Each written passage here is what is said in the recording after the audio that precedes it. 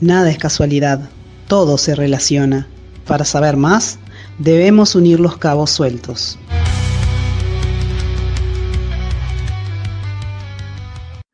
Hola, ¿qué tal? Iniciamos otra edición de Cabos Sueltos, un espacio donde aspiramos a conectar realidades, sensibilidades y tendencias poco conocidas o sobre las cuales se tienen percepciones erróneas. Como siempre decimos, entre tanta confusión se trata de que encontremos y conectemos los cabos sueltos.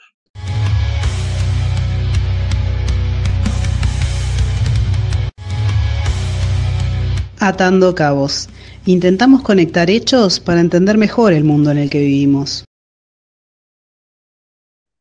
Bueno, allí estamos viendo unas imágenes, drama ucraniano, y estamos en contacto, como cada semana, con Ricardo Changala. ¿Cómo estás, Ricardo? Muy bien, muy bien, Álvaro. Y espero que tú también estés bien y la audiencia, lo que está muy mal son los ucranianos, francamente. Sí. Eh, la, idea de este, de, este, de este espacio hoy es tomar este tema porque por distintas razones, por otros conflictos en el mundo muy importantes y cosas que veremos ahora, ha, como perdido peso en la, en, la, noticia internacional y, en algunos países directamente ni se habla.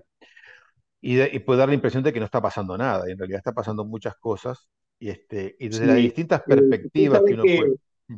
Seguramente tú lo, lo, vas a estar comentando, ¿no? Pero hoy veía, previo a, que empezáramos la charla, que el, el, Parlamento ruso por unanimidad ratificó el tratado estratégico con, con Corea del Norte y decidió aumentar un 30% el gasto militar para el próximo año. ¿Es, ¿Es así? ¿Esos datos son correctos?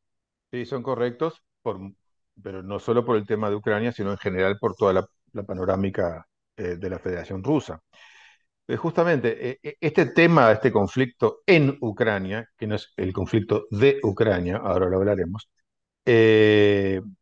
puede tener distintas perspectivas. Yo, en este momento, creo que lo que corresponde es iniciar por observar el drama de la gente y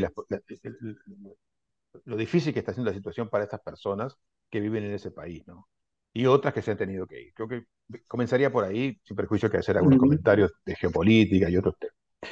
¿Por qué drama existencial? Bueno, porque algunos datos, tú sabes que en medio de las guerras los datos nunca son muy confiables, pero he, intentado conseguir datos más o menos sólidos de fuentes este, serias, y son todos contundentes, en el sentido de que es un país que ha perdido, está perdiendo población a pasos agigantados.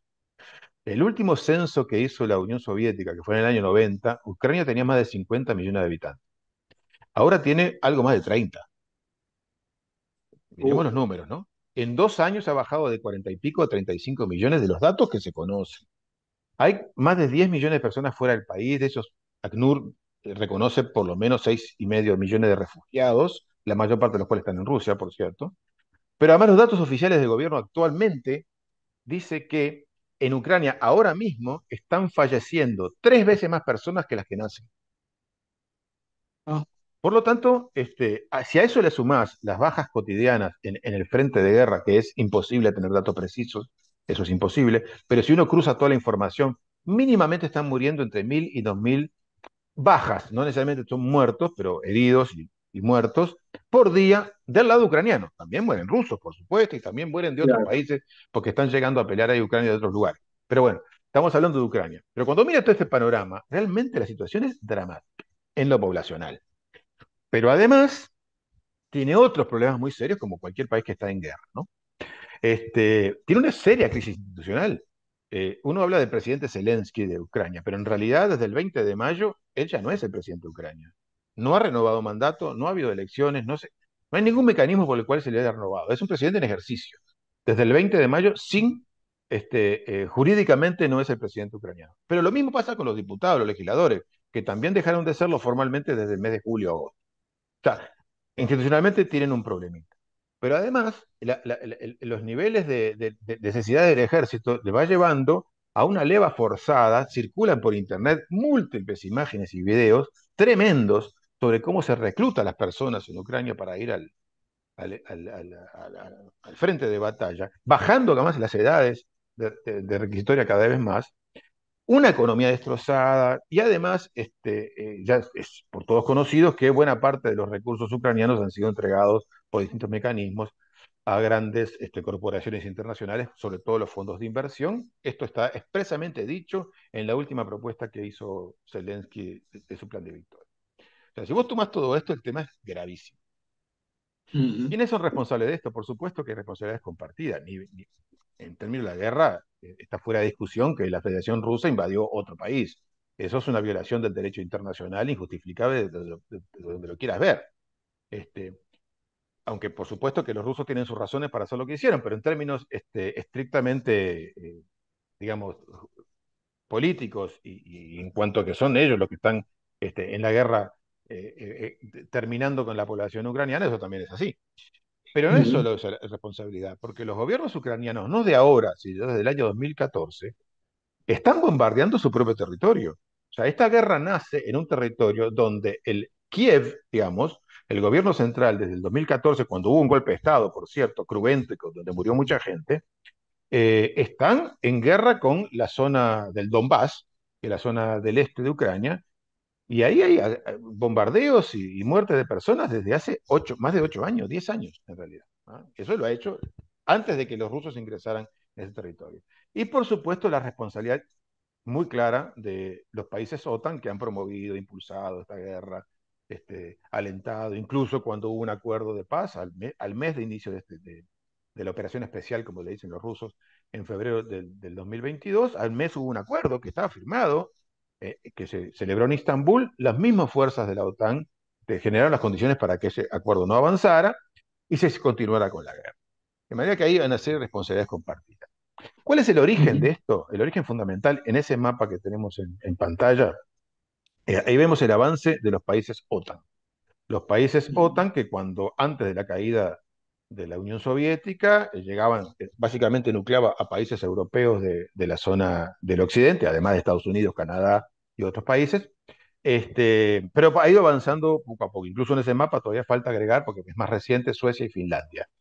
Entonces la Federación Rusa se ha sentido muy amenazada por el avance este, de, esta, de esta alianza militar, que implica básicamente colocar este, misiles casi que en la frontera de, su país. ¿no? Y por eso se han opuesto radicalmente que Ucrania ingrese a la OTAN.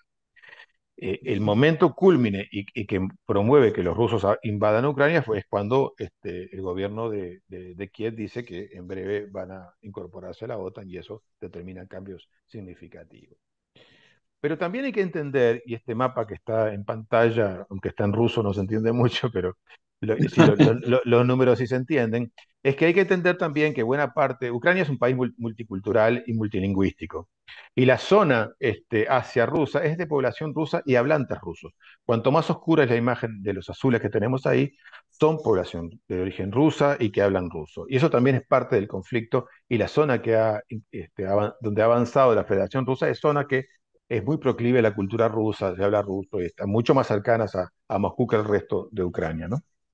En el año 2022, eh, hablando de lo territorial, que es clave aquí, eh, en, imágenes lo que tenemos en, el color naranja es la zona del Donbass donde, como te contaba, estaban en guerra, ¿no? O sea, una parte del territorio este, se oponía a Kiev, pues, porque justamente en contra del golpe de Estado que hubo en el 2014, Ahí inició un movimiento autonómico de Lugansk y Donetsk, armado, y, este fue una guerra interna durante muchos años. Y lo que está más oscuro, más abajo, es Crimea, una zona, la península de Crimea, que ha tenido, ha sido parte de muchos, muchos imperios y gobiernos como toda, toda Europa oriental en su historia, pero que en el 2014, como contexto que, del golpe de Estado que te mencionaba, etcétera, este, pasó a ser, digamos, a ser parte de la Federación Rusa.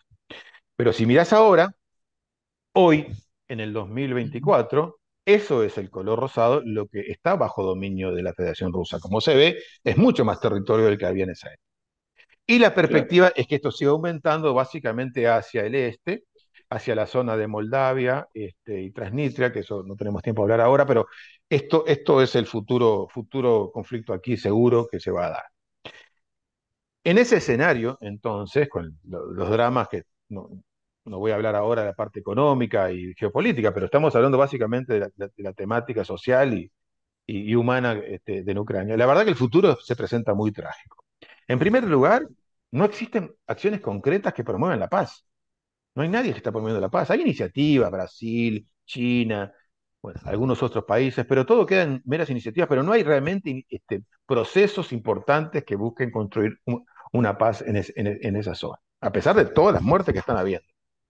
Este, Zelensky, el, actual eh, presidente ucraniano, presentó hace unos días un plan que no se llama de paz, sino de victoria, de cómo ganar con una serie de propuestas que lo que hacen es, profundizar la guerra. Así que para terminar este, esta, aproximación a la realidad actual ucraniana, eh, parece que se va a hacer realidad un aforismo que algunas personas del occidente vinculado a la OTAN este, algunas veces dijeron, de que esta es una guerra muy importante, hay que derrotar a Rusia de cualquier manera, y para eso pelearemos hasta el último ucraniano. Y realmente, así como está planteado, este, parece que el destino de Ucrania es seguir perdiendo población, seguir asistiendo a la muerte de muchas personas, y no se avisora realmente en el futuro cercano nada positivo para este país. Realmente un panorama trágico, Ricardo. Es así. ¿Nos reencontramos mucho antes de lo que la audiencia espera? no sé lo que espera la audiencia. Espero que el domingo ah, podamos conversar en el contexto de las elecciones nacionales allí. Exactamente, allí nos reencontraremos. Un gran abrazo. Adiós.